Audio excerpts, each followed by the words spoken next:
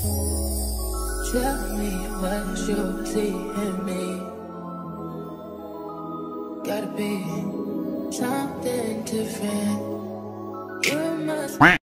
What's up, y'all, and welcome back to the channel. Today, you know, I'm just gonna go over a couple of pro tips for, you know, getting ready for a date, getting ready for a date night, getting ready for a night out in town, getting ready for a sneaky link, whatever the fuck it may be that you into. We finna go over a couple tips to make that shit run a whole bunch smoother. And of course, I follow these on tips myself. I do. Cause I, I got my own little shebang going today. So of course I'm gonna give y'all a real motherfucking spiel. Um the proper procedures, protocol, and pro tips for when you have a sneaky link or a hot date. Let's get into it. So tip number one. Tip number one is the most important tip, which is why it a tip number one. Make sure that you brush and floss and use mouthwash in your fucking mouth before this date or before your link because breath is just like number one, especially on my list. I'm not gonna go around nobody with no stacking ass breath, and I really don't want nobody around me with no stacking ass breath. It is important to make sure that you floss before you you can I, I like to brush my teeth floss then brush my teeth again and then use mouthwash. Because when you don't floss you have bacteria and food stuck in between your teeth and that is where damn near 98% of the bad breath comes from. Not just your tongue but your fucking teeth. Tip number two.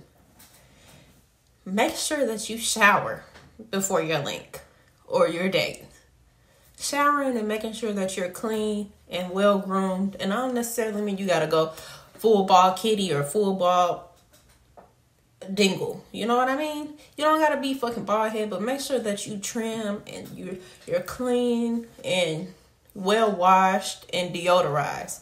Because how you smell also plays a, in a it's in effect with everything because you don't want to go smelling like hot fucking mess because then she's not gonna want to link with you or he not gonna want to link with you. So make sure you take that time to wash your ass and wash it good. Shave those pits, wax, wax that coochie. Anything you gotta do to smell good, make sure you're fucking doing it. Please. Tip number three, baby. Tip number three is it's it's about what you wear. So if you're going on a nice little casual date you know, let's say y'all going on to a fancy restaurant or something.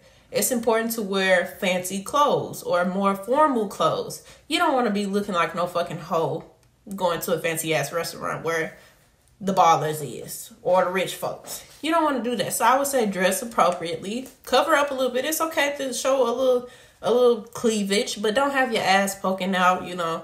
Just just try to limit how much skin that you're showing if you're going on a classy formal date if you're not going on a classy formal date and it's real, like y'all cool and y'all chilling, y'all just gonna go walk in the park, then put on something casual. You know, something that's not as revealing, but you know, it's just like, hey, I got body, look at me. So be mindful of what the fuck you wear on what day. Number four, make sure you moisturize. Put some Vaseline, some oil, or some fucking lotion on your assy ass fucking hands, ankles, and fucking legs. Please don't be walking out the fucking house ashy. And don't invite nobody to your shit ashy. I'm not saying that you have to use a scented moisturizer, but just make sure that your skin looks like butter, feels like butter. You want to feel you want to feel smooth and soft because you know let's say y'all get to that get to that base where y'all holding hands and you like oh baby your hands soft or or rubbing on your body you don't want you don't want to have fucking reptile skin Okay, because that's not attractive. It's not attractive to us women either that we got a whole crusty ass fucking hard working hands. Fix that shit. Cause you you done fucking scratch me the fuck up. Tip number five. Tip number five is set the mood. Like I don't necessarily mean like set the mood as in like oh you gotta like candles all in your house, but set the tone of the date. And what I mean by set the tone of the date is how you approach the situation is the outcome that you're going to get. So if you approach very sexual, you're going to get very sexual intentions from your date. If you approach very calm, cool, and collected, it's gonna run fucking smooth. I'm telling you, your intentions and what you're putting into the date or the link up, it's going to show. If you want to spend time with them, you know, you're just like, okay, we chilling or whatever case may be, then come with that chill attitude. But if you just DTF and you wanna you wanna fuck, come with that attitude because it, it you don't want to miss you don't want to perceive anybody the wrong way. Tip number six. Number six. This is for my females that are having issues with their down there area. And I'm not just saying like, oh yeah, bitch got an STD. I'm saying like it, it might be your time of the month or you know, you, you got a little you got a little little stank stank going on. Wash your pussy. Wash your fucking pussy. And if you ain't got time to wash, you know, do a little rinse up, get a baby wipe. Get up in there because I'm telling you, if you can smell it, they definitely can smell it. Or if any case, get you some um deodorizer, some dry deodorant. Spray a little bit on your panties, you know, spray a little bit in your crotch area and go from there. But I highly re- recommend that you wash your fucking Tip number seven, and this goes for the men. If y'all going on a date and, and you have intentions on dating her, wait. Don't don't be overly sexual. I understand, you know, you got a got a bad bitch across the table from you, whatever the case may be. But you don't want to come off too strong sexually because that can affect how she views you and how the relationship is going to progress. So I'm also telling y'all, stop being so sexual. Set the mood correctly.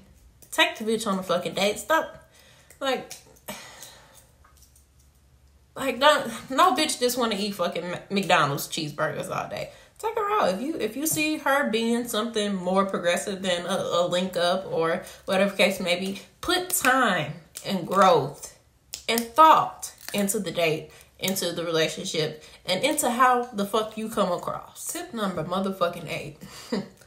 and this is also important to me because I have OCD when it comes to certain stuff. If you're picking someone up for a date, make sure your car is clean. Because if I see a french fry and then I see a cricket or a motherfucking roach eating on that french fry in your back seat, I'm going to block you. And not only your car has to be clean, if I'm coming to your house or we finna have a little sneaky link situation and you coming to mine, make sure your fucking house is clean. Like seriously, like that. It, it's no reason to be fucking disgusting. We too grown for that. Make sure you wash your fucking sheets before we fuck on them. Make sure your house smell fucking good. Make sure you smell fucking good, and make sure you don't take out your fucking trash. The trash been sitting there for two weeks. Take the shit out. Clean your fucking shit. Tip number nine. And this is also a very important one because I don't know if you guys take it and it's like putting on a shit ton of cologne or perfume is going to make you appear more attractive or where the fucking case is. Be limit yourself to how much you're using.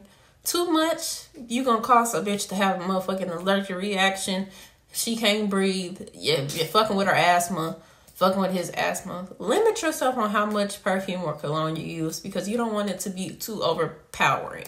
You want your date or significant other to experience your natural pheromones. You know, you don't want to you don't want to mask that naturalness too too much. And I find that women naturally smell pretty sweet, so we don't we don't need to do all that. Just you know, a little spray here here and there, you know. But don't use the whole damn tip number 10 and this is probably just a tip for me.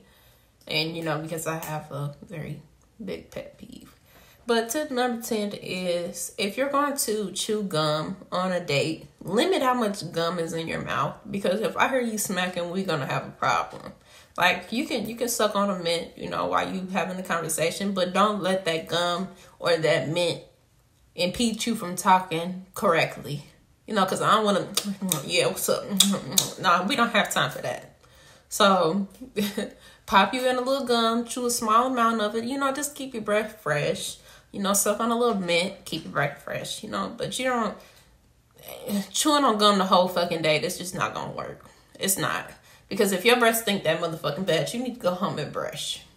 you need to go home and fucking brush. All right, y'all. That is all of my pro tips for sneaky link slash date night slash meetup slash whatever. You know? And I feel like the tips are pretty important to follow because it'll help the, the date run a little bit smoother if you're not doing too much. Like, enjoy yourself, be yourself, and just have fun. But anyway, y'all, you know, I just wanted to get a little video out for y'all today. So that's just a little bit something for y'all, you know, watch. But as far as the video, that's it. And, you know, I hope y'all have a great day. And hopefully y'all listen to my advice because I ain't been here this motherfucker long on this motherfucking earth not to know shit. But anyway, y'all, I'll see y'all later in the next video. And subscribe or like the fucking video. Bye, y'all.